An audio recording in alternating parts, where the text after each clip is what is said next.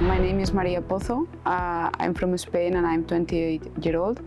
Um, I have a master in polymer science and industrial research.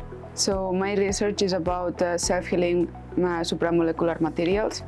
We're developing second generation uh, self-healing materials that have the ability to, uh, to heal at room temperature with improved mechanical properties uh, from what has been developed before.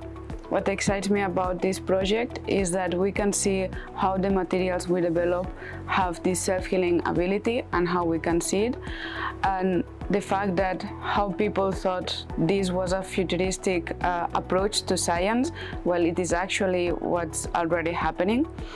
I think these uh, materials interest a lot to companies because they uh, can lower costs by not having to replace the materials every time. I think it's also good for the environment cause, because um, we don't waste as many plastics into the uh, into the environment and also uh, we can tailor the material to the specific needs of the company so they will be uh, every time more in use.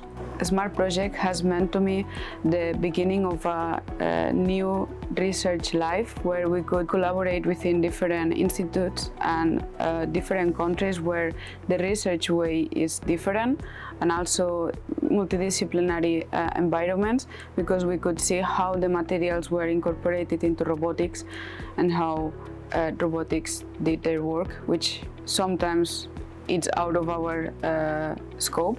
In my opinion, we learn a lot more from knowing where are the where are the materials used.